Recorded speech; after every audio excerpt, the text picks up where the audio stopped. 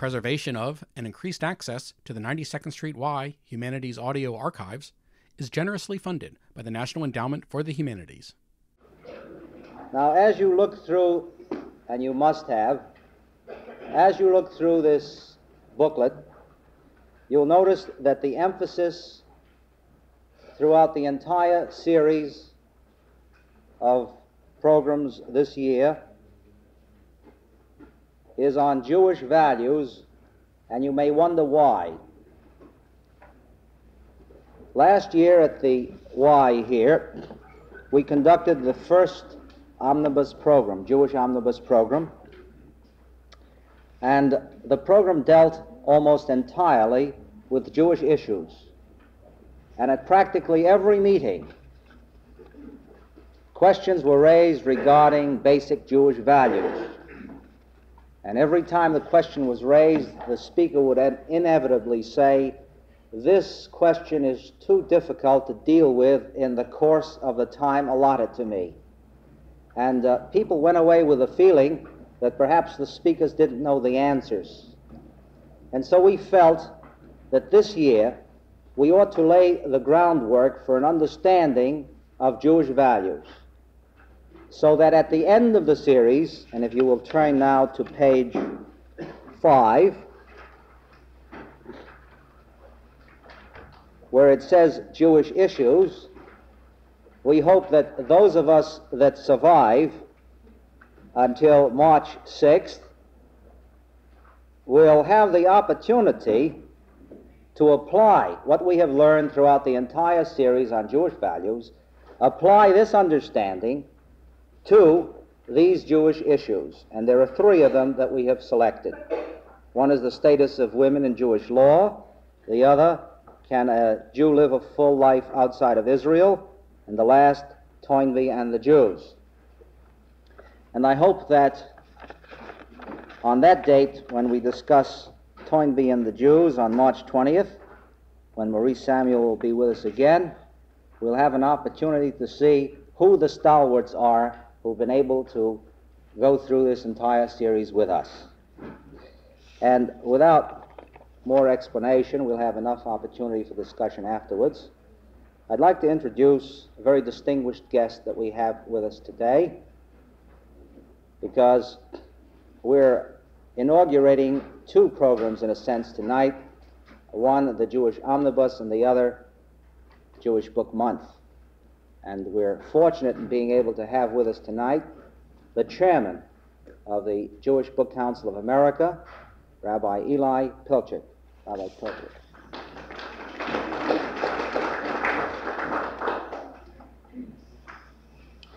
Mr. Chairman and good friends, survival is the key word in the vocabulary of nature. And survival, I take it, is the key motive uh, in the uh, raw animal makeup of man.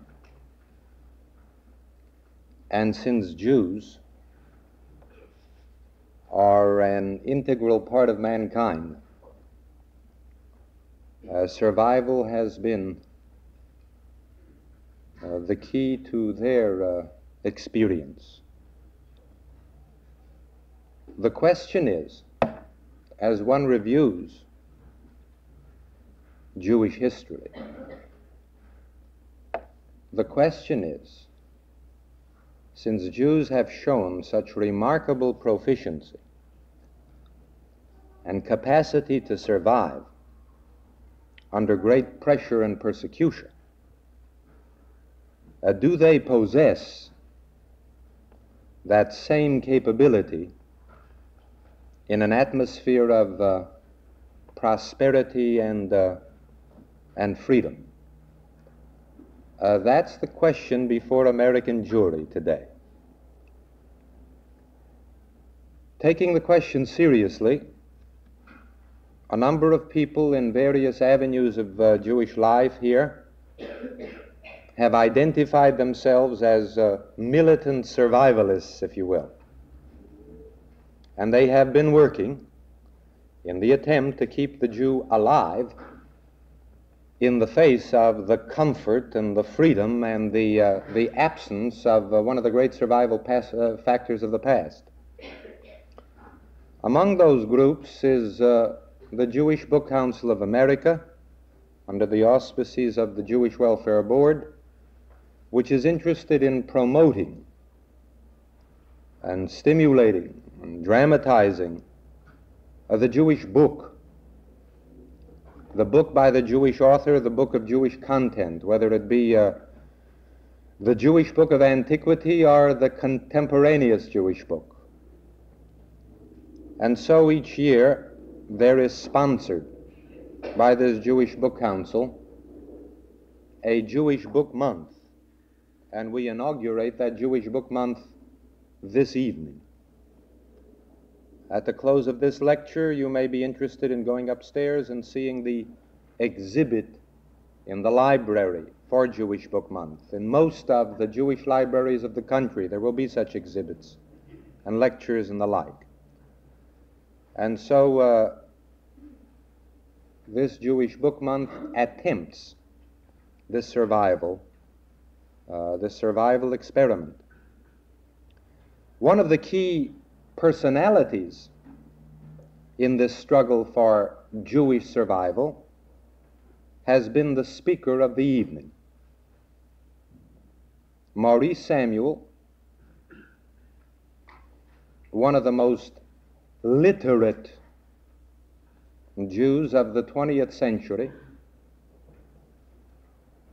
who believes in its survival, has gone and uh, looked into the literature of our people, the life of our people, and has attempted to present it, particularly to the English reading public, in various ways novelistically, essayistically, critically. Indeed, in his uh, last work, he, uh, he plays the, uh, uh the Rashi of the 20th century by giving a, a brilliant commentary on some of the biblical characters, the volume called Certain People of the Book. Among the things Mr. Samuel has done was to uh, breathe life into Yiddish literature, that heartwarming, pulsating literature which uh, kept us going so, uh, so wonderfully for three or four centuries in Europe and for part of the time here. This literature he has presented in his World of uh, Sholem Aleichem, in his superb translations of the works of uh, Asch and uh, I.J. Singer and some of the others. I know of no one better qualified to present to you the survival ingredients in the realm of Yiddish literature the values in Jewish life found in Jewish literature than our speaker of the evening, Mr. Maurice Samuel.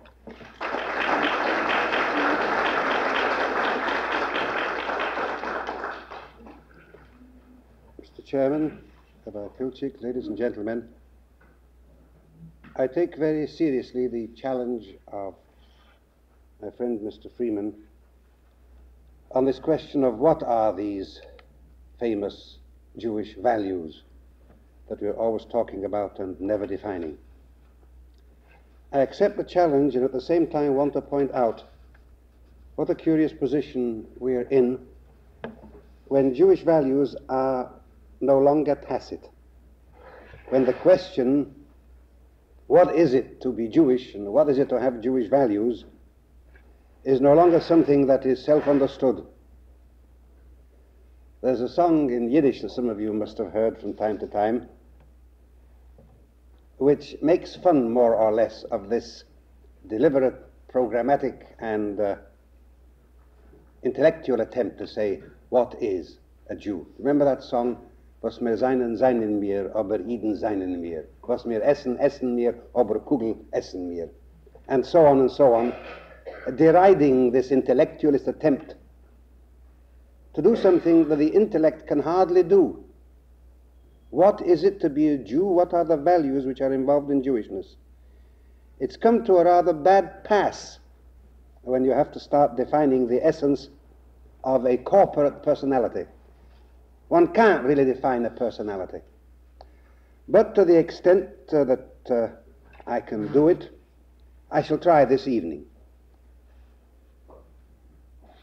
Now, first of all, I want you to divest your minds of any notion that what I can give you in the course of this talk will actually reproduce the Jewish value. I shall have to skirt it. I shall have to point out differences between this and other values. But I won't be giving you the real value in itself, and you won't expect me to either. I can give you indications of where to seek it. I can sometimes tell you what it isn't. And especially in the course of a single evening's talk, two or three hours, you won't expect me to provide you with a total inner feeling as to something which you haven't got if you haven't got it.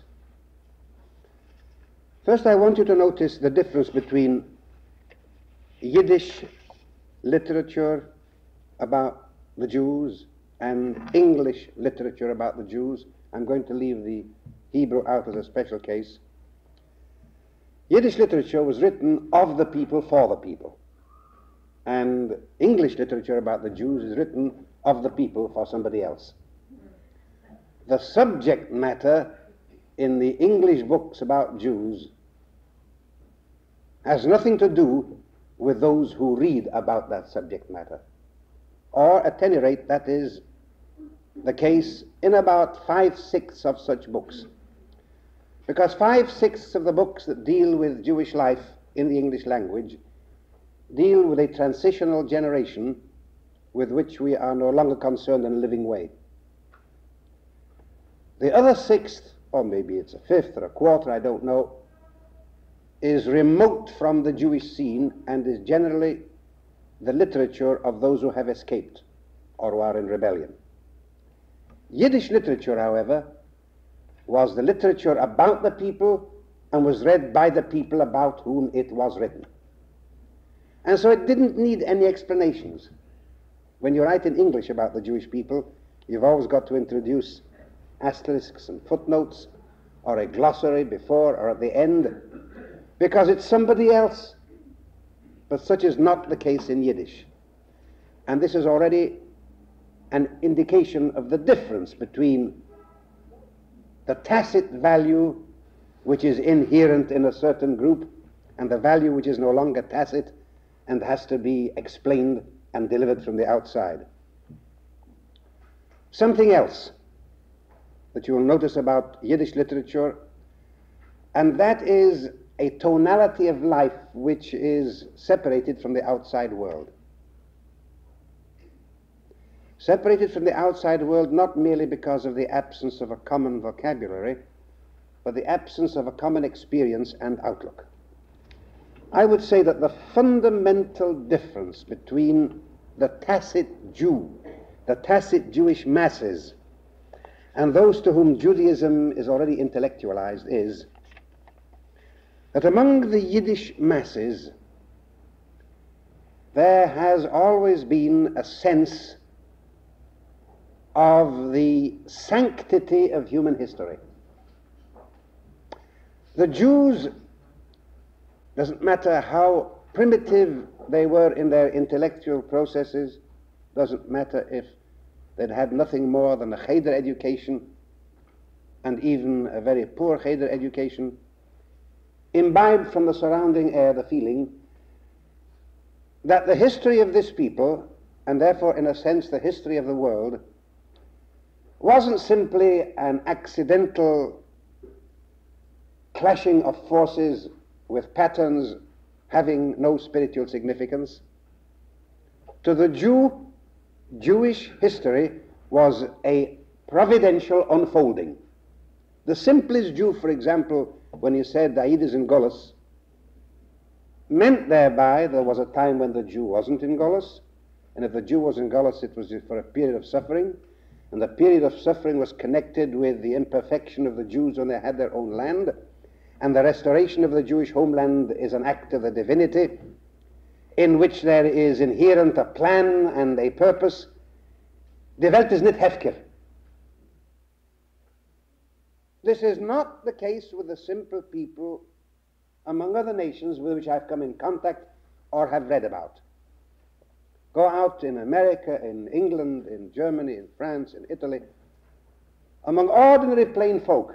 They don't talk of the history of their people in terms of a divine plan, something with a trajectory beginning in the remote past and already turning through the various lines, the various points of the curve, with a significance.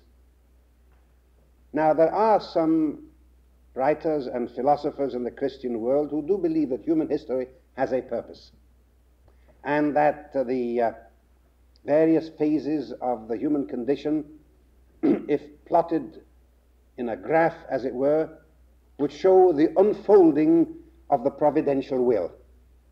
There are such philosophers, but it isn't something that has percolated through to the masses and isn't something even that's accepted by all philosophers.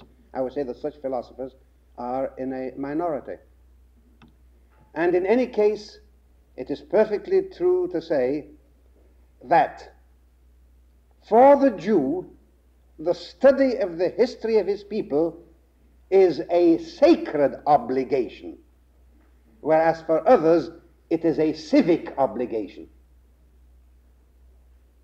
When a Jew learns Jewish history, going back to the remotest beginnings, going back to the pre Jewish story of man, and through the coming of the faith, the patriarchs, Egypt, Palestine, the first exile, and then he goes on to the post biblical period of the second state, the destruction of the second state, and then the literature which arose after that, the literature of the Mishnah and of the Talmud and uh, of the Responsa, the literature of the philosophers of medieval times, the long stretch of the commentators until today, when a Jew contemplates that, it is a sanctity. He is doing a religious act when he studies those things. Now, by no stretch of the imagination can it be said that when you're studying English history, beginning with the uh, coming of the Celts and the Jutes and Angles and Saxons and Danes and Normans, or when you study American history, in no sense can it be said that you are performing a religious duty.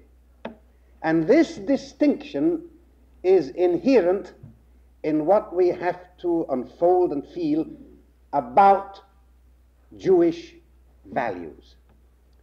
Jewish values are sacred. I don't mean to say there are no sacred values in the non Jewish world. But Jewish values are sacred through and through, and learning among Jews is a religious obligation, whereas elsewhere it is an intellectual, a, a civic obligation, and this distinction is fundamental to the definition of the two worlds. Yiddish arose as one of the instruments of Jewish survival. And it's almost impossible to speak of Yiddish literature without a glance at the character of the Yiddish language. Yiddish is not, I suppose you all know by now, a German dialect. Yiddish is not simply a convenience, a lingua franca, which Jews invented and spread among themselves for purposes of international contact among themselves. Yiddish, with its admixture of Hebrew, Yiddish, which developed the Hasidic literature, the Hasidic folk literature, in Yiddish, Hasidism became learned at a later stage. Yiddish is, in spite of itself, a sacred language. And it's quite remarkable to observe that the relationship to God in Yiddish is totally different from the relationship of, let us say, English, in order to examine the language with which we are all familiar. But this applies, I think, also to German, to French, and to Italian. In Yiddish, the Jew has created expressions in which the intimacy with the Ribono shel Olam exists side by side with a sense of the eternal and the ungraspable. Now, the word Ribono the phrase Ribono shel Olam means judge of the world, judge of the universe. It's an exalted title. Or the Jew, a Jew will say in simple Yiddish, Der was lebt ewig, he that lives eternally. And in the same sentence or in the adjacent sentence, he can turn and say, Gotten you, taten you. He becomes at once the child and the intimate. And there is sometimes even an impertinent relationship to the Almighty. Among the Hasidim, Yiddish became the instrument of a give and take, which to the outside world, with its formalized sense of the awfulness of the creator of the universe, is akin to blasphemy. And certainly it is shocking at first contact. I think many of you familiar, are familiar with those stories of Hasidic life in which certain rabbis cite the Almighty before a court. They hail him before a court, or rather, let me say, they hold a court and they don't have to hail him because he's everywhere anyhow. And uh, they accuse him of dealing unjustly with human beings. Of course, I needn't tell you that doesn't make much difference in the last analysis, and that in the end they are compelled to admit that he is, the, he is in the right. But they do challenge him, and it flows quite naturally in Yiddish, where it would not even in Hebrew, and certainly not in English. Now, one has to understand this about Yiddish in order to know that this intimacy with God, and number two, this sense of the divinity of history, is part of Yiddish literature and is not found elsewhere in anything remotely approaching the same degree. And thus you haven't got, or you hardly have, in Yiddish literature, art for art's sake. Somebody who sings but as the linnets do, who sings simply because he feels something toward the universe and is detached from his people. He utters a universal song in which the Jewish element or theme does not appear.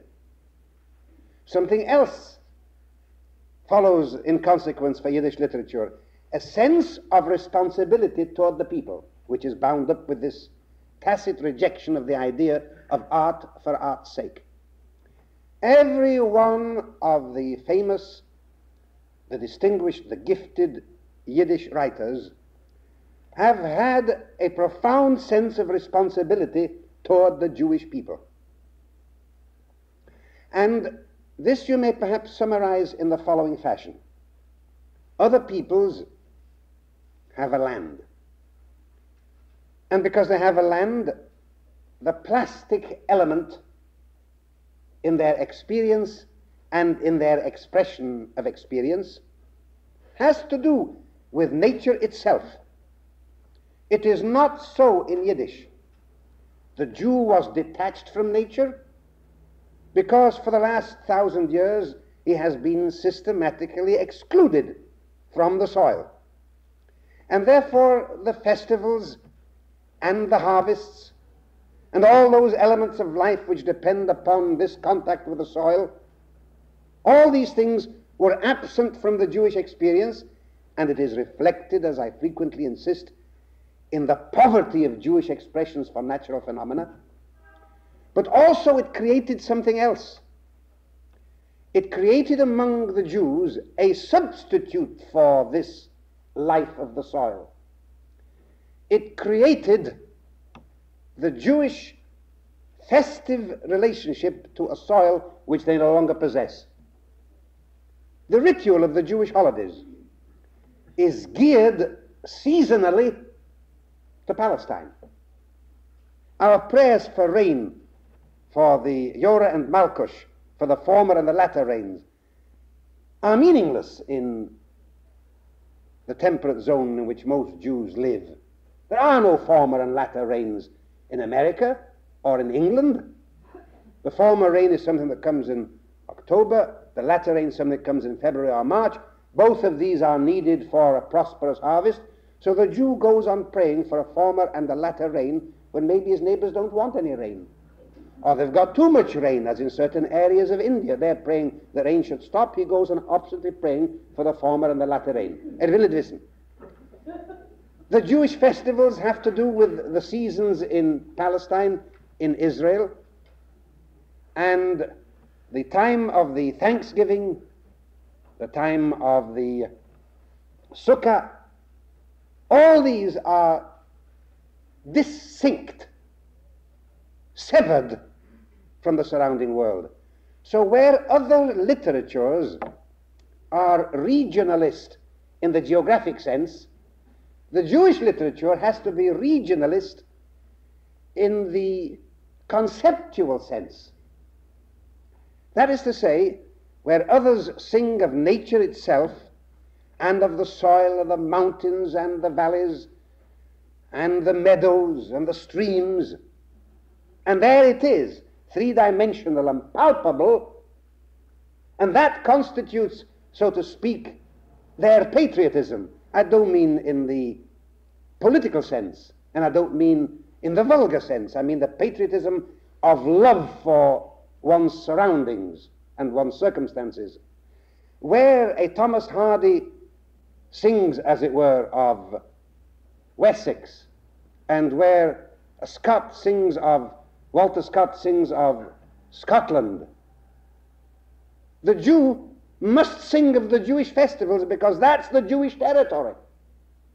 That is the place where the Jew lives himself out and has lived himself out for these last 2,000 years. And the consequence is that a serious Jewish writer cannot indulge in those flights of fancy in which he, as it were, repudiates his people because he wouldn't be repudiating it if he were a goy. Let us say an Englishman writes in the purely natural sense, like Tennyson in his poetry of the English valleys, the English mountains. Nothing to do with the English people. The fact that it's of England that he sings, and he mentions those places, and you can tell from the flowers and the trees, from the product of the fields and the orchards, you can tell you're in England, enables him to dispense with being a patriotic Englishman. He is patriotic by the mere fact of producing values in the English language about English surroundings. But since the Jew hasn't got those surroundings, or hadn't those surroundings, the only way he could be serious and could be tied to his people was by sticking to the text, as it were, of the festivals. Now take all these elements together. Take this Jewish sense of intimacy with God. Take this Jewish feeling of history being a providential process and not a series of accidents. Take further this necessity of expressing oneself Jewishly, not by means of the Mamoshisdik, not by means of the three dimensional and the tangible, but by means of the ideas which we have carried through life. And you begin to see where Yiddish literature has to transmit Jewish values. Now, these alone are not Jewish values. And I shall not be giving you all Jewish values, as I remarked at the beginning. But interwoven with these, there is the concept in this serious outlook of the Jew, as expressed in Yiddish literature, there is the concept deriving from the Bible of a life, a human life, which has a meaning also in itself. And again, it's bound up with the absence of the nature theme. In Yiddish literature, the natural in the sense of the animal is also absent. That is why you haven't got a Yiddish literature of the erotic. There is erotic literature in all languages except the Yiddish. That is too much of nature. That is too much of the animal for the Jew. You haven't got the Yiddish literature of combat. In all the literatures of the Western world, you've got the picture of knighthood You've got the glorification of the warrior. You have the lyric of the slaughter, it might be called. When to kill human beings under certain circumstances is done with a gallantry and with a flourish and with a zest and a grace which apparently lifts it out of the realm of murder. Yiddish literature hasn't got that tonality. And you won't express it in Yiddish. You can't change into any equivalent terms in Yiddish, let us say the Arthurian cycle, with the battles and the ringing of swords on armor. You can't produce a Robin Hood in Yiddish. You can't produce a Claude Duval. You can't produce these romantic figures of the buccaneers and the pirates. You can't produce those medieval Bertrand du Guesclin, these famous knights and paladins. You can't produce it in Yiddish because, in the absence of the emotion, a terminology wasn't created. First of all, if you started to explain in Yiddish all the variations of the poetical ways of contemplating murder, contemplating the slaughter of a human being, you wouldn't have the instruments. You'd have to start explaining what is a mace, and what is a falchion, and what is chainmail, and what is a helm, and what is a casque. You can get by a bow and arrow you've got in Yiddish, and you've got a sword, and one or two other simple primitive instruments for the separation of the human soul from the human body.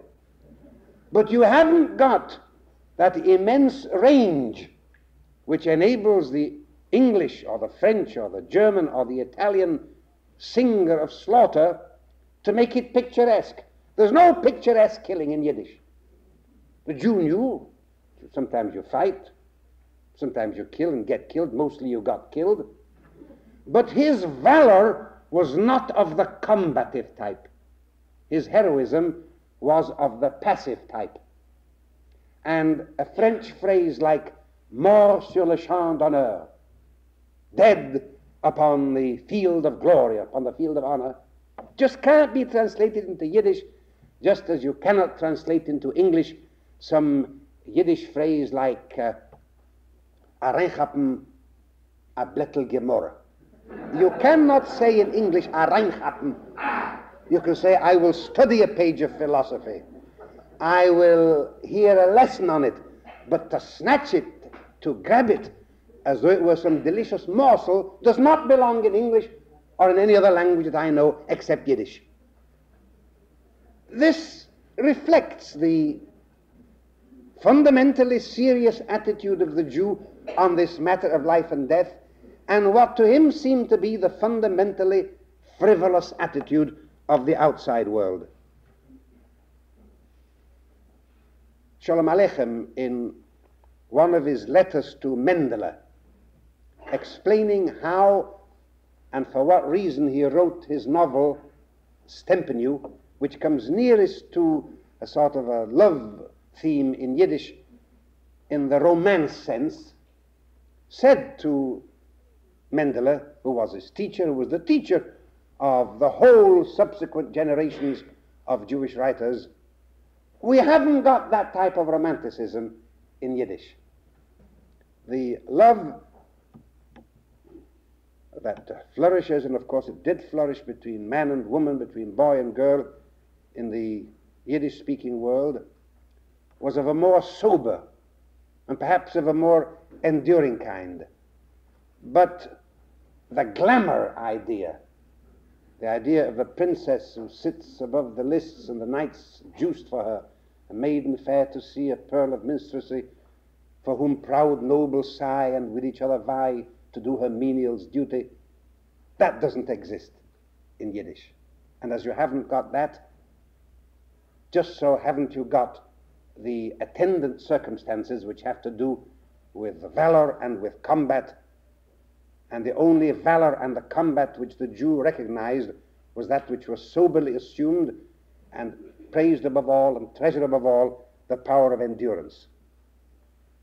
Go through the work of the three classicists in Yiddish literature and you discover that nowhere, neither in Mendele, nor in Peretz, nor in Shalom Aleichem, have you got a single one of those figures which are, as it were,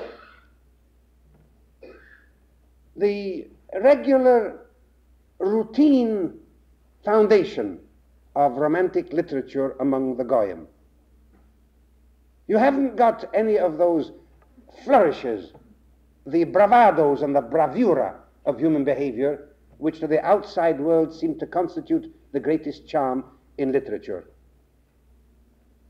What you have instead everywhere is the constant sounding of the notes which have to do with the preservation of our intellectual, spiritual territory, not having a physical territory. And what always captivated the simple Jewish masses, apart from the intellectualist Yiddish reader, was what sounded the note of our history, of our religion, of the ritual, and of all those cultural values which were interwoven with each of these areas.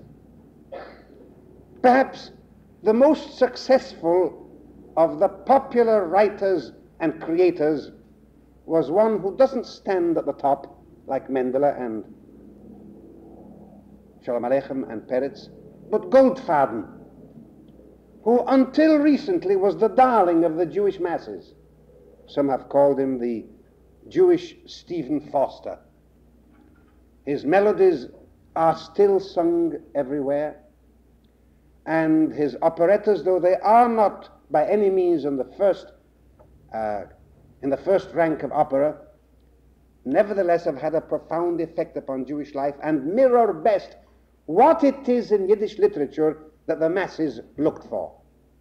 You know, we all still sing a Pastach is einmal gewesen in dem Land Canaan, and we still sing, if you remember, in dem Beis HaMikdash in a Winkel Cheder sitzt die Almona Bas-Tsiyon allein.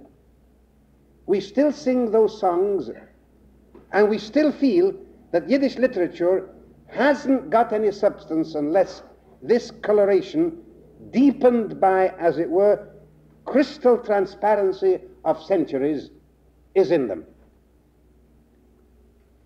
And again, I can perhaps best bring this out by contrasting it with what you haven't got in the literature of English. Some time ago, while preparing a series of lectures on American Jewish literature and the picture of Jewish life which emerges from the English books in this country on Jewish life, I had occasion to reread books that I hadn't looked at for many years. One of them was Abe Cahan's Rise of David Levinsky, and another was a book which made quite a stir in its day, A Peculiar Treasure by Edna Ferber.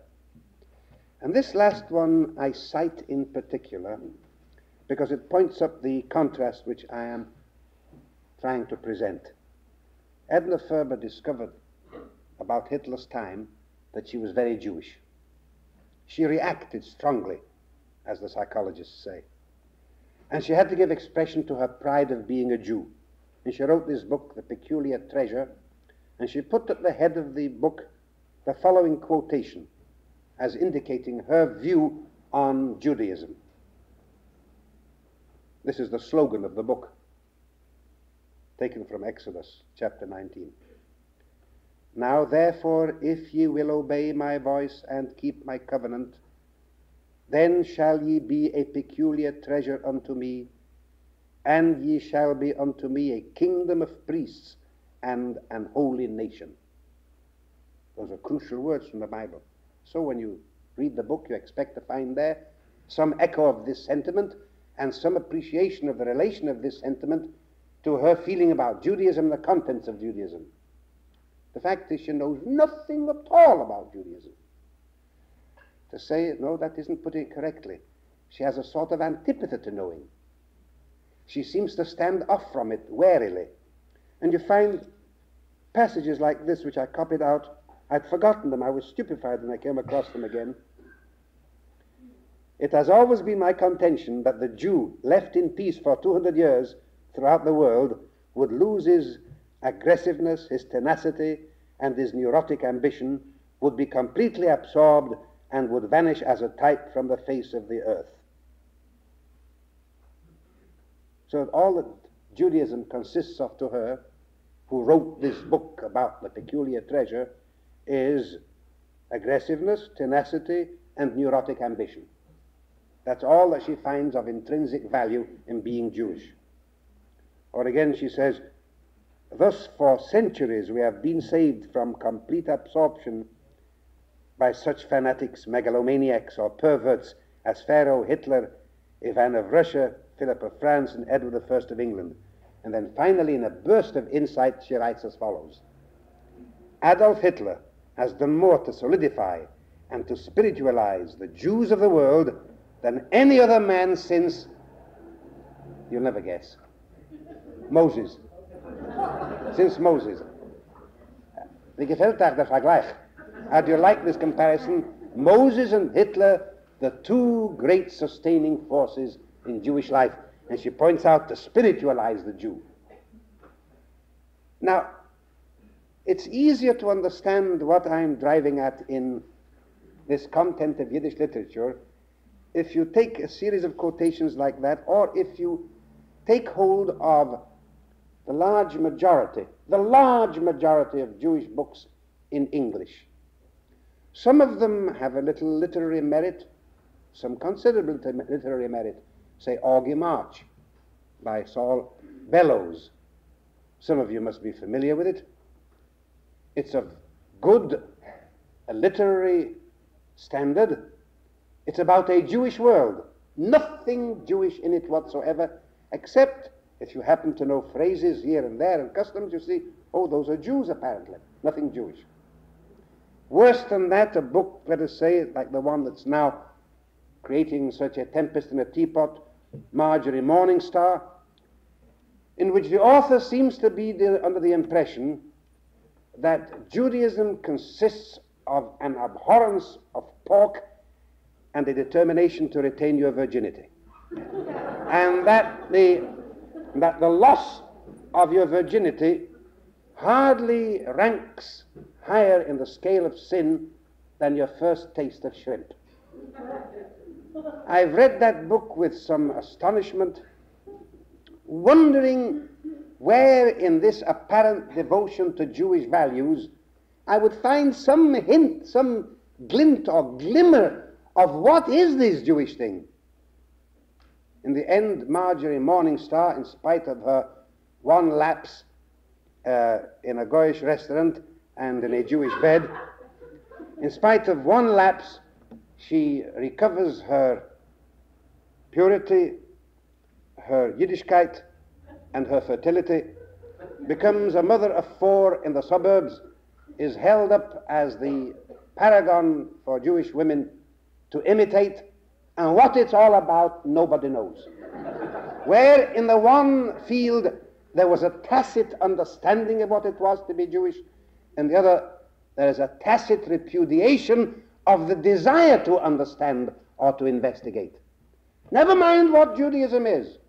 Just don't you eat pork and Krishna it and uh, go and live in the suburbs and have four children and belong to a synagogue and belong to a Hadassah.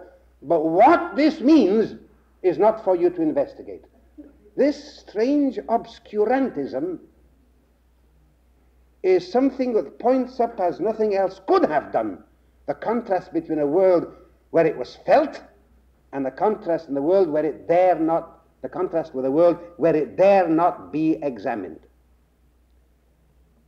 If you were to ask me, what is the element in Yiddish literature which comes out most strongly, I would answer that the miracle of the transposition of ancient values originally expressed in Hebrew their transposition into a language and into a world of circumstance that was never dreamed of by those that first crystallized the Jewish consciousness.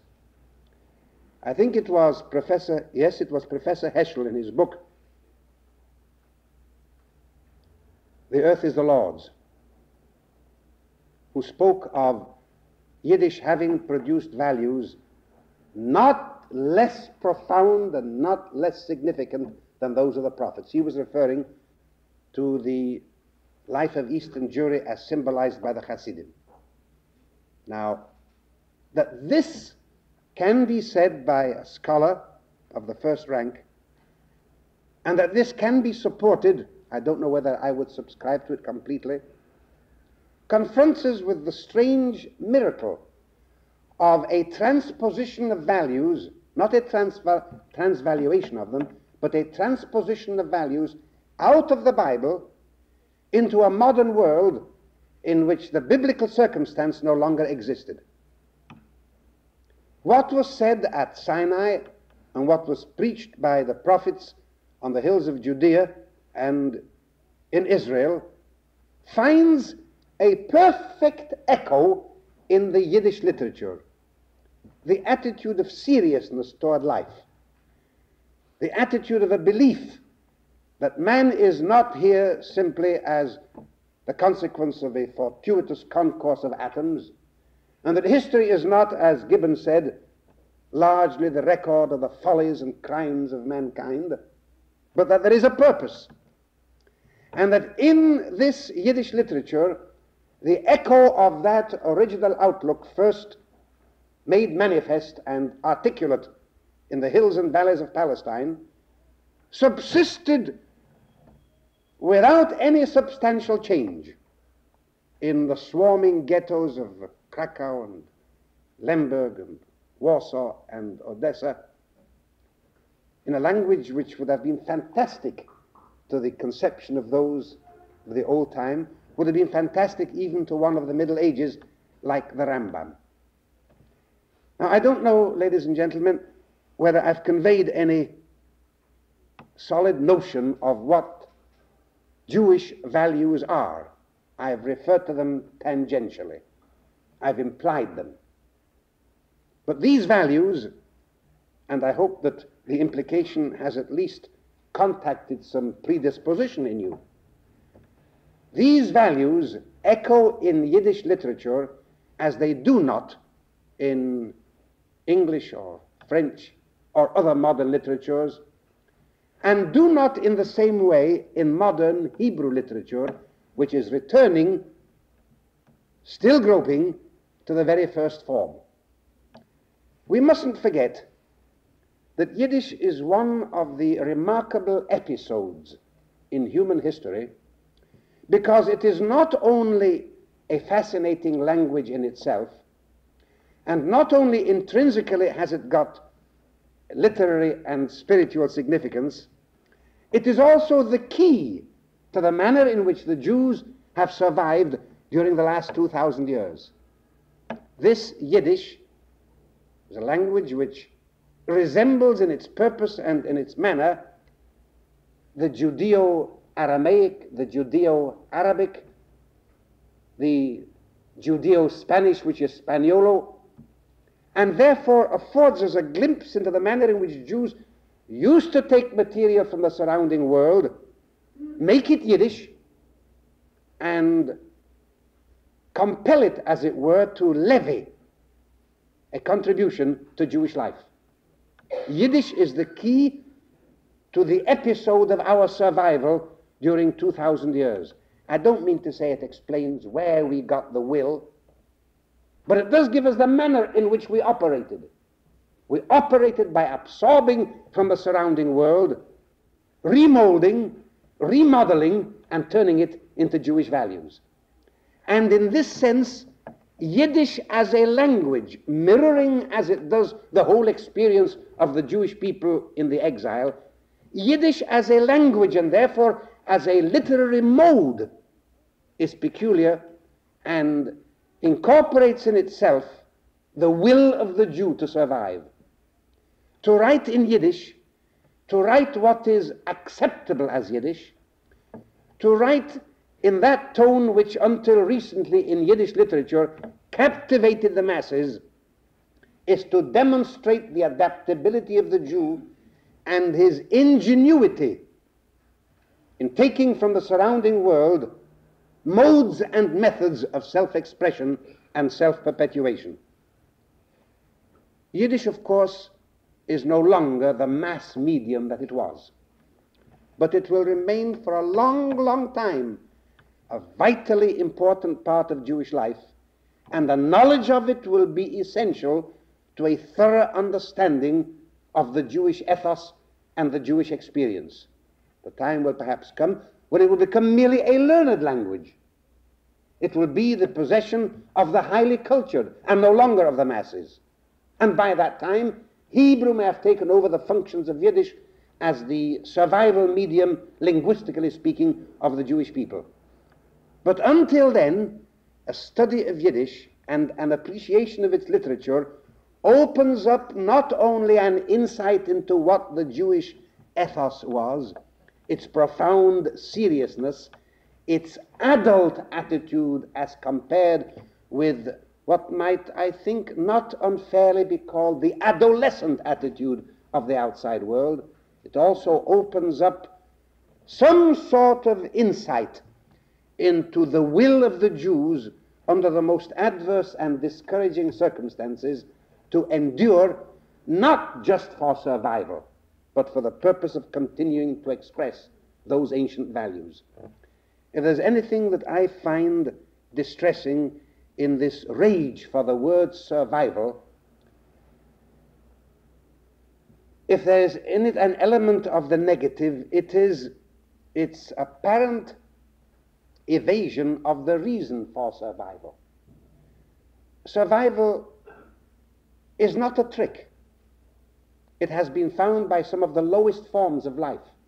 I understand from the biologists that it is the oyster, which as a form of life is about 200 million years old, which has best solved the problem of survival. The ant, a much higher form of life, has also existed for a long time. Among the larger land animals, the turtle is distinguished by its antiquity and by its probable survival into the future unless Jews become overfond of turtle soup.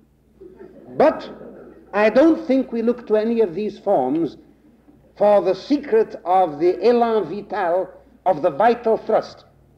And this excessive emphasis on the survival aspect of Judaism is something that I would like to sound a warning against. It isn't just a question of surviving in what Toynbee calls the fossilized form, in the taboo forms which Marjorie Morningstar incorporates, not a question of survival, it is a question of continuity of creation. Yiddish is distinguished by the fact that it found new forms of expression for the old values. There are things in Yiddish which could not have been said in Hebrew and can't be translated into Hebrew, can't be translated into English. And there will be forms in Hebrew that we can't anticipate today.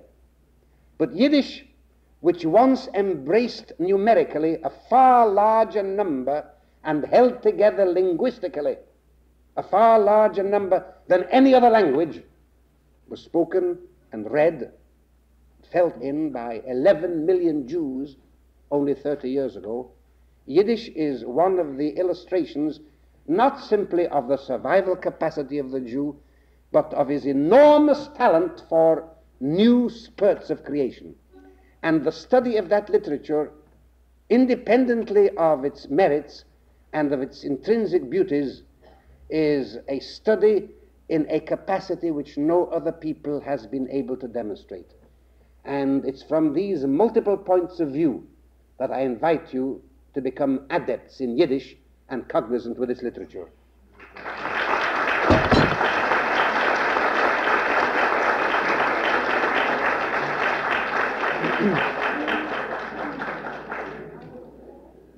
I've got these pencils here to take registrations for a Yiddish class, which will begin tomorrow. But that's no joke because, uh, as I pointed out at the beginning, the character of this series, of this Jewish omnibus series, evolved from the series that we had last year. And it's quite possible that a class in Yiddish literature might develop out of this. Now, um, we come to the question period, and I've got some cards here and some pencils for those people who would rather write their questions. Uh, is there anyone who would rather write his question? You want to raise your hand? We have a card, pencils. No? All right.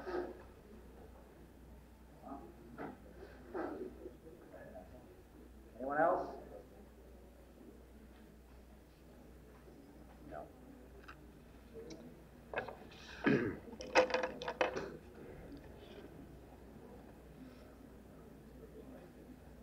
Now, um, you've had a few seconds to formulate your questions, or is there anyone who would like to make a point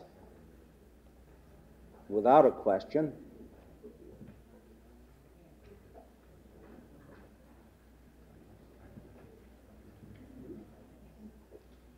Do you have one, yes? Sure, go ahead. Well, if you want to ask questions, get up, direct them to the audience so I won't have to repeat them, and we can proceed more I rapidly. would like to ask you, when you say there is not a comparable seriousness in the English literature, for instance, with the seriousness of the uh, Yiddish literature, aren't you not limiting it more or less to the f- forms of fiction?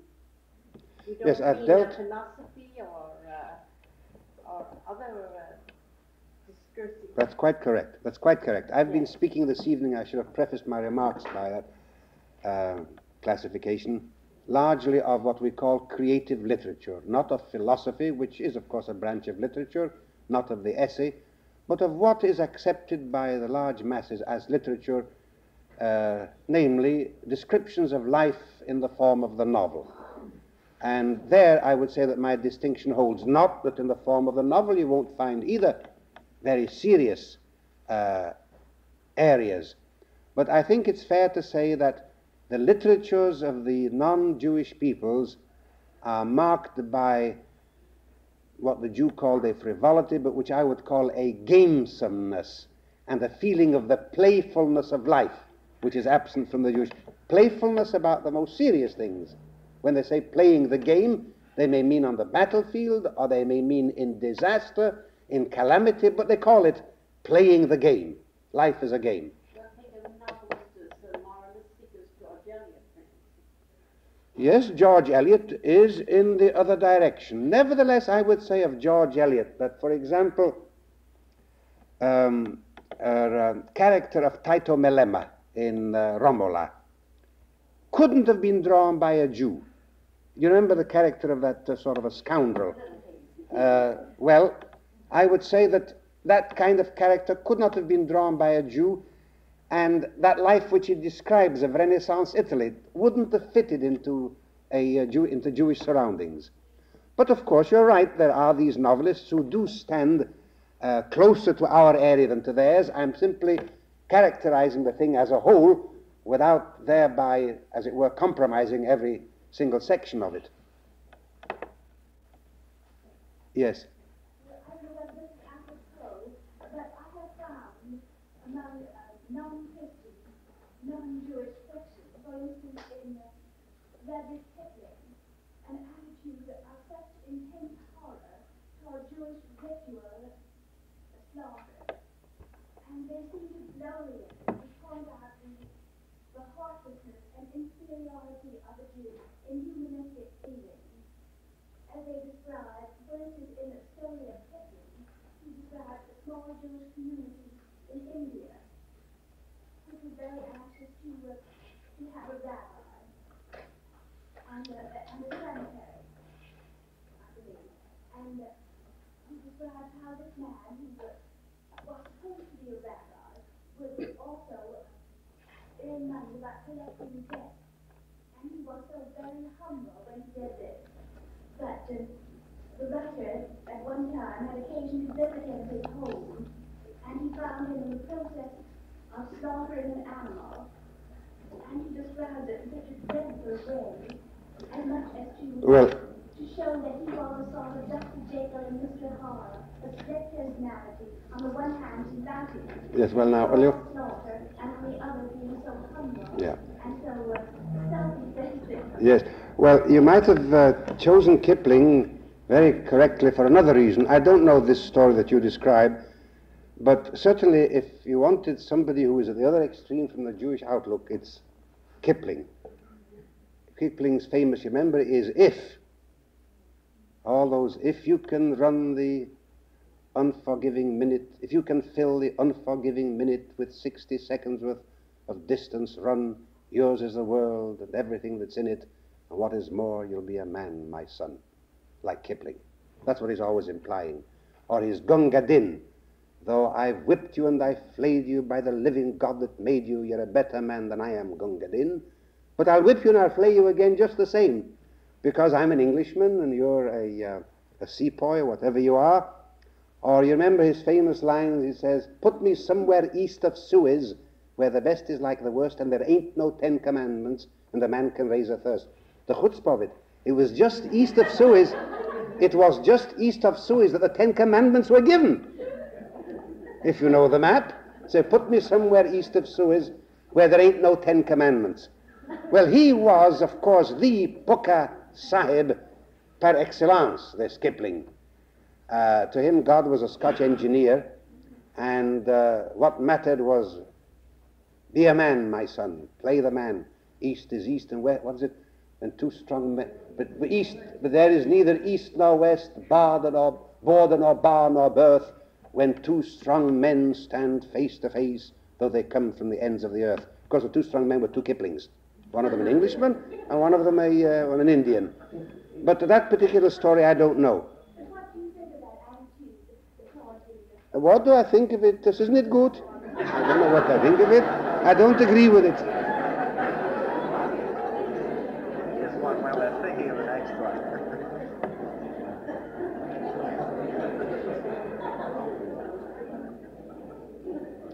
Can you please give us examples of Yiddish idioms and words that cannot be easily translated into English? That's number one. Well, I'll give you one. I'll give you one, an idiom to end all idioms. The description of a Jew who is Ashatchen, Abatchen, Aganaf Alam Naid. Uh, pardon? Slower. Ashatchen, Abadchen, a yid. A Ashatchen is a wedding jester. Uh, Ashatchen is a marriage broker. Abadchen is a wedding jester. Aganef is a rascal. Alamden is a scholar and he's a Jew. And by the way, notice uh, there are values in these things. And he is a scholar. He is a, obviously not a successful person. But even in, on this level, there is the introduction of the element of scholarship. But uh, this would lead me too far afield uh, to start giving you these idioms. But can you give us examples in Yiddish literature of taking in local institutions ideas, customs, and making them Jewish, say in Russia, US, Poland, etc.? You find this most in Mendele, in which you frequently come across Russian words and Russian customs, but the transference of those Goyish elements into the Yiddish world took place before the flowering of Yiddish literature at a time when Yiddish literature was anonymous. In the days of the Bevis stories. By the way, you've all of you heard the expression Bobomyces. As most of you think it means grandmother stories. It doesn't. The stories of Bevis, it was the name of a man whose book of stories appeared about 500 years ago in Yiddish, and ever since then, stories in Yiddish were called Bevismyces, which became corrupted into Bobomyces. Now, the transference of those forms into Yiddish took place long before the literature which we know as Yiddish today was yet uh, set down and printed. But uh, you find in Shalom Aleichem contacts with the Goyish world. You find in Peretz, even in the story of Oib nicht noch Hecher. You remember the rabbi disguises himself as a peasant in order to bring this woman in the in the hut, the, the uh, sick woman, on the morning before Rosh, uh, on the days before Rosh Hashanah. But that is carries us much too far afield. Pardon? Uh, in the ten days before Yom Kippur, between the between Rosh Hashanah and Yom Kippur. No, wait, I must uh, give others a chance. Yes, sir. The way Mr. Magnus, you bring out that uh, the Jewish, uh, the difference between the Jewish way of life expresses itself in a preordained or ashgacha, a getlacha management of the world and its uh, beings and all so on and so forth. I would like you to uh, elaborate as to whether or not the other religions in the world are so vastly different that we can say this is what we can consider typically Jewish, and as such, these values express themselves in Jewish literature. Am I making myself Yes, quite clear. Theoretically, there is hardly any difference, theoretically, between the behavior and the outlook of a good Jew, a good Catholic, a good Protestant. Theoretically. But what do you find in the actual education of the young? If a Jewish child gets a predominantly or an exclusively Jewish education, he learns from the beginning that the history of his people is divine. Is that correct? Does a Catholic child? No, it we know it doesn't, because your child goes to a Catholic or a Protestant school. Those children go to school. And unless they go to a parochial school with a strong religious streak in it, they don't learn those things. And the fact is that although in theory every Sunday they're told God is the, the, uh, the uh, molder and the director of the world, they don't study history under the rubric of a religious concept, which is the answer to what you ask, namely that there is not that same literal translation of God's interference in human affairs when carried into the history of one's people. Theoretically, your case is right, there is no difference. In practical fact, it remains the truth that to read Jewish history is to read something sacred, and to read American, French, or German history is to read something which is considered secular and which you do six days in the week. On the seventh, you are told in church that God is the director of human affairs. The other six days of the week, when you sit for examinations in college or in high school, you don't say, and God said that for this and this reason this people should be thus and thus. You say that it happened that that people was stronger, this people was rising, that people was declining, and God doesn't appear in any of these transactions. But the study of Jewish history makes the continuous reference to God inescapable.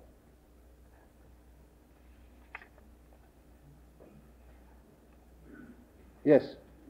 you said that the survival was considered divine in Yiddish literature. And you mentioned purpose, the survival. Is that purpose divine? And so, what is it in Yiddish literature? The purpose of the survival was whether it was expressed in specific dogmatic terms or merely felt in human, general human terms, the purpose was the fulfillment of human destiny in a messianic millennium. That the human species is not going to disappear without this perfection for which it was pre, for which it was created and which is preordained. The concept of Mashiach Zeiten among simple Jews was a daily thing. Now you didn't, you don't hear here again. You have the difference. You don't hear Christians, simple Christians. I don't just an ordinary, a, cab driver, a, um, a plumber, a factory worker. You don't hear him saying Mashiach Zeiten. The concept of a Messiah is to him something that belongs only to the church. The Messiah was, the Messiah may come again. But to the ordinary simple Jew, the concept of the imminence of a Messiah, the perfection of the human species, the transposition of human affairs beyond the historical, the post historical stage, is perfectly natural. It's currency. The simplest Jewish housewife knows what you mean by Mashiach Zeiten, but you don't know it in the other languages. What, what is the uh, activity or the purpose of the uh, survival of the Jewish instrumentality are they to this? And that I guess this. I mean, how much do they- Was born out of them. How much do they contribute, you mean, to the perfection of humanity? Yeah, or they are, are to contribute. I don't know. I, it, it, it, that's a question that can be investigated and debated endlessly.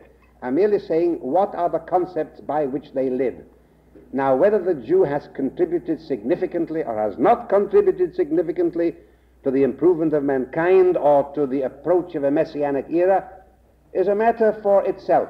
It would not invalidate the Jewish outlook if the Jew had not affected human history. Supposing human history had not been influenced by the existence of the Jew. That argues neither for nor the outlook of the Jew. I am describing this evening what the Jewish outlook is and how it has found expression in Yiddish. Now, whether it has done something for the world or hasn't done something for the world is a chapter or a series of chapters for itself. Yes? Wait a moment, not while there is first. Yes?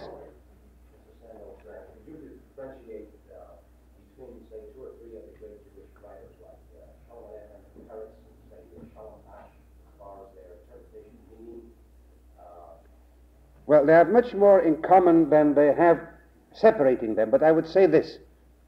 Technically speaking, Peretz was the first one to modernize Yiddish in literary form. He did for Yiddish what Chaucer did for the English language.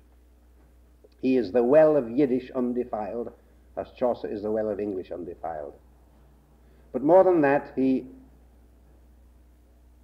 set a permanent stamp on the mission of the Jewish writer. It's interesting, I observed before something about the seriousness of Jewish writers. All of them were conscious of being public servants. They had a contract with the public. They had a responsibility. They were teachers. In fact, Peretz and Mendele, Mendele the first, were literally teachers. They wrote pedagogical books in Yiddish, sometimes in Hebrew. They wanted to improve the condition of the masses. And their literary work was a sort of super, a work of supererogation on top of their work as uh, responsible pedagogues of the Jewish people. But to differentiate between them, I would say that uh, in, in another area, I would say that Peret, that Mendele, the first of them, was the brutal castigator of the Jews. It's impossible to translate, or I find it impossible, have found it till now impossible to translate Mendele into English because he is pitiless with the weakness of the Jews. He is full of the most brutal satirical pictures of Jewish life. Die Klatsche, the old mare, the story of an old mare in which he symbolizes the Jewish people. The old mare that everybody rides and kicks and exploits and starves until it's nothing but a, a bag of bones and hide.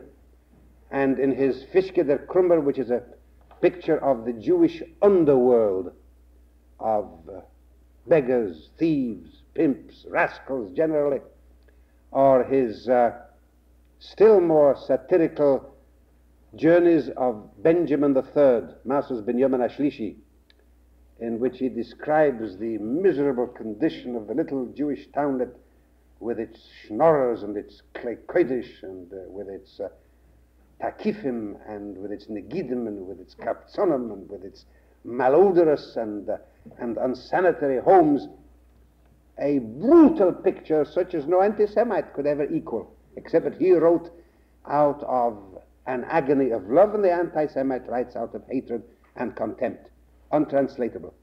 For that reason, at the present time certainly. And Peretz although he was capable of great satire and wrote some fine satirical pieces, was at his deepest in his folkloristic feeling for the Jews. A strange thing about Peretz was that fundamentally he was a modern intellectual with a knowledge of many European languages and the ability to write in the style of a Goethe or of a Heine, not with their genius, I don't pretend that for a moment. But his Bei Nacht auf den Alten Mark is almost an echo of the Walpurgisnacht of, of the second, uh, of the first part of uh, Faust. And there are many places where he echoes the Heine satire. But his greatest work is in the deeply moving Hasidic stories, which he thought were only, as it were, peripheral productions of his, things that were, I won't say playthings, but done in moments of rest between his more serious enterprises. Those are immortal. The Hasidic stories and the Volksstimmliche Meises. Shalom Aleichem was a natural troubadour of the people. Shalom Aleichem was by far the greatest of those geniuses. Uh, didn't have any program. He was steeped in the Jewish people, and he expressed it without seeking to. It's, when you read Shalom Aleichem, it's as though you were listening to an anonymous voice.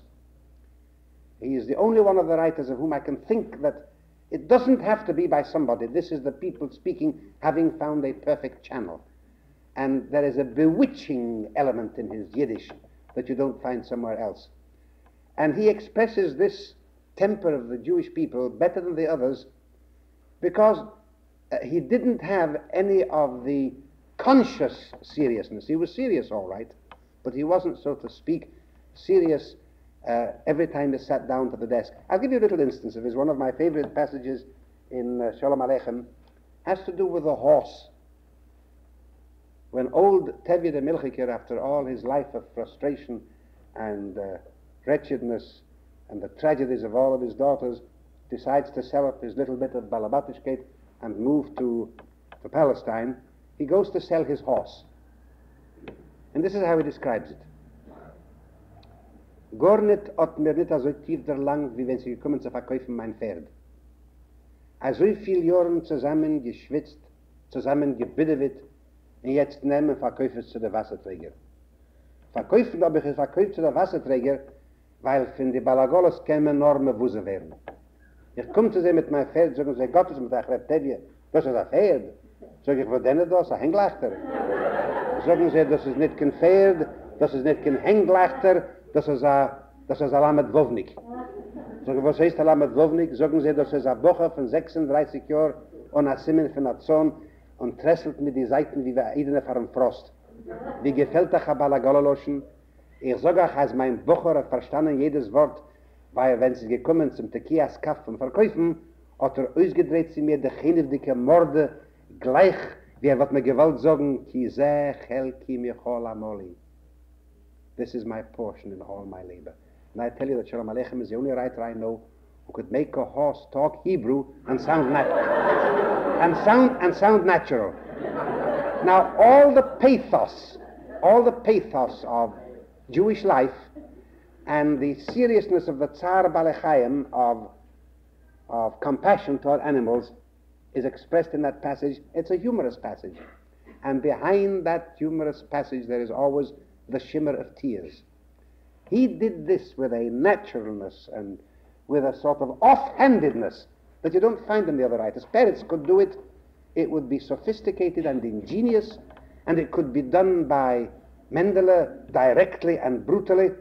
But this twinkle of the eye, this charm, this bewitching element of the folk, you find most strongly in Shalom Aleichem. Now, that's a very brief and wholly unsatisfactory differentiation between them, but that's all I can give you in the time at my disposal.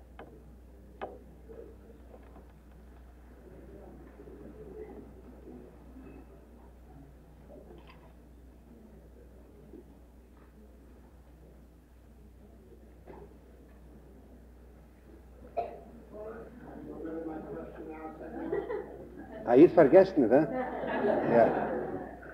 Again, I'll ask you a question that may not have to do with Jewish literature, but purely with Jewish values. If I remember a little of the things I learned when I was little, that God said after the uh, Babel that you would no more wipe off living beings off the earth. And if this should be true belief, then we as Jews should fear not anything of an atomic catastrophe which is impending now on the world scene. Am I correct? Uh, well, excuse me if I uh, answer with Gramstra Machner Etnik. I'm sorry, I just don't see the connection between the two, and uh, you don't pinpoint a subject. You see, I'm talking in general values, and, and I'm talking the general values embedded in Yiddish literature. Now you want me to say something where I believe as a Jew that God having promised we wouldn't be drowned, He also promised it wouldn't be burned. Uh, It is not certainly. Pardon? I will no more send the flood, he said, for while there is harvest and for the imagination of man is evil from his youth. And he would no more destroy all living things on the earth. But he also said in the prophets that the terrible, terrible day of God is coming when men will flee into the clefts of the rocks. No, don't, don't get hold of a text and try and make it uh, something uh, firm and, uh, and permanent and covering all. Uh, and besides, to tell you the truth, I, I don't see how I can chipper on this subject to my talk of this evening. I'm, try, I'm, trying very, I'm trying very hard, but I- I'm not succeeding. So if somebody has a question which is more relevant, I'll be grateful for it. Uh, yes, ma'am. Excuse me, I'll come to yours next. Yes?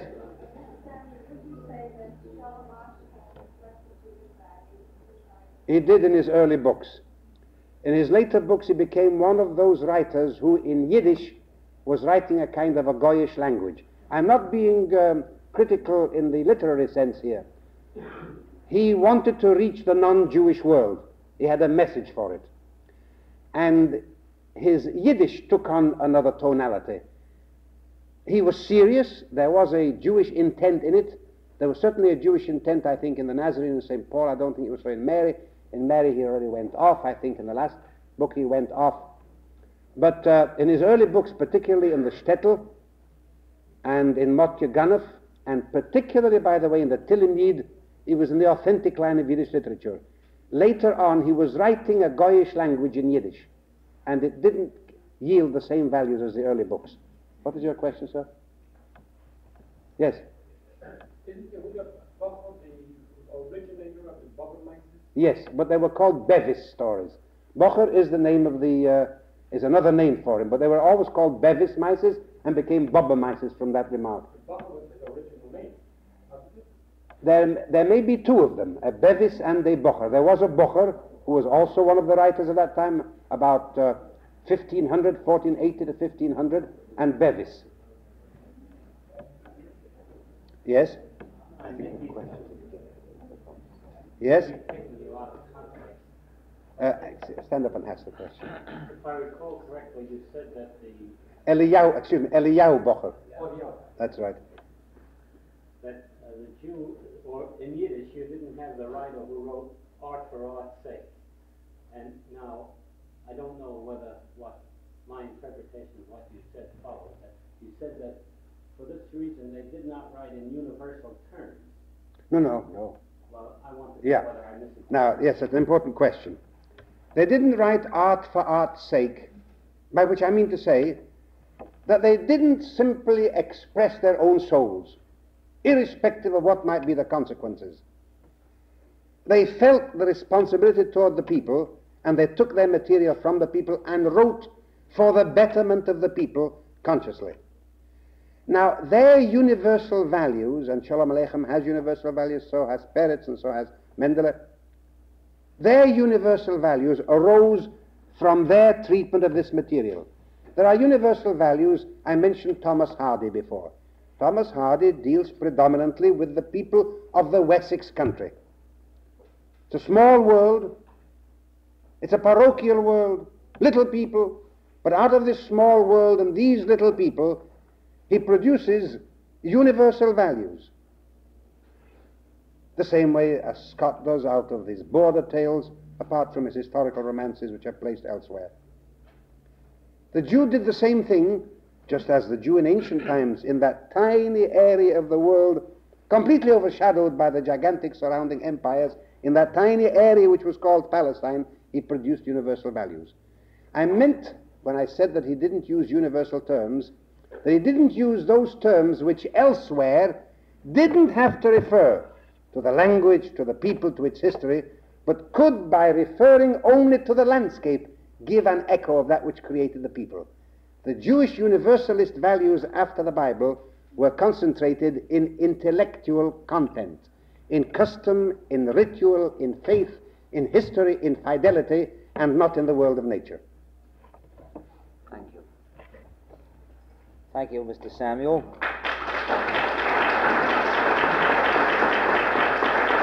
Now, um, before you leave, I wonder whether I may have one minute of your time. We'd like to find out how effective the various devices of communication that we use are. In other words, we'd like to know how you happen to be here. So I'd like to ask one or two questions, and would you raise your hands in response? How many people are here because they saw an advertisement in the New York Times? Would you raise your hand? Let's see. All right, how many? All right, down. Thank you. How many are here because they received a letter as members of the Y? Raise your hands. Uh, how many are here because they were here last year and thus knew about this program? Is there any other method? Oh, New York Post. I'm sorry. How many are here through the New York Post? Any other reasons? Yes, I believe they were. How many are here because, how, uh, how many were notified because they were uh, uh, present at last year's omnibus program? Let's raise your hand and see. Well, these people evidently were notified. Now there's another question. I'd like to get geographical distribution, and you may be interested in this too. How many here are from Brooklyn? Uh, how many are here from Manhattan? Uh, down, thank you. How many are here from the Bronx? How many are here from Queens? Staten Island? How many are here from outside the limits of New York City? I wonder how far. Where are you from? Jersey City? And anyone else further? Westchester. Anyone? Any other place? That's fine. Now, I beg pardon? Mr. Kolodny, where are you from? From Minsk. well, and then now there's one last question, which I don't think you can answer uh, this way, but perhaps afterwards, after everyone leaves, those that are interested in discussing this with us might come forward. We're interested in conducting these programs so that as many people as possible have an opportunity to participate, and so that these uh, discussions can be of greatest value to the people who come. Now, these groups aren't so large that we can't perhaps create a more informal atmosphere, or if there's any other way that you think this kind of discussion can be carried on to be of greater value to those who are here, we'd like to know about it. W- would anyone want to say anything about that at this point? Yes?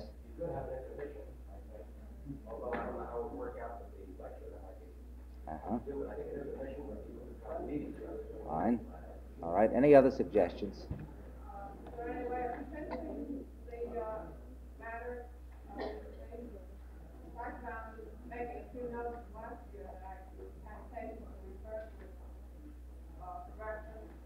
Uh, the point you're making is that some notes be prepared and mimeographed for those people who come so that they can refer to it afterwards. Is that the point you're making?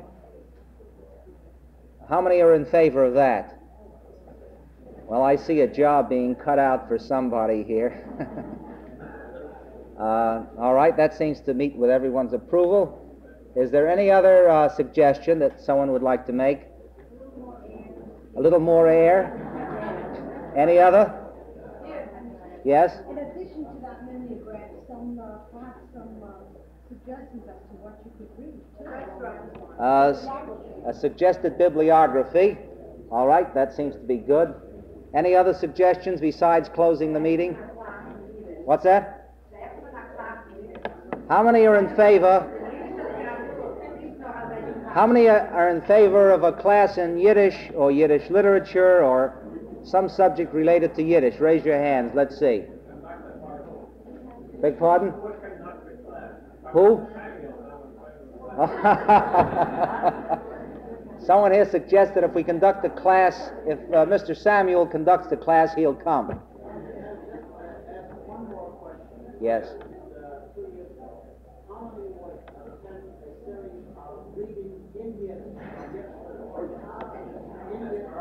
With explanations in English? All right, how many would attend a series of readings in Yiddish by Mr. Samuel? Let's see.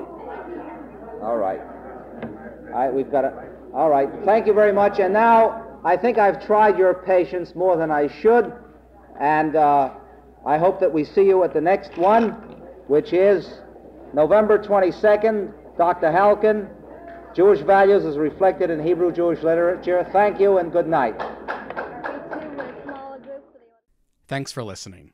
For more information on the 92nd Street Y, New York, and all of our programs, please visit us at 92ny.org.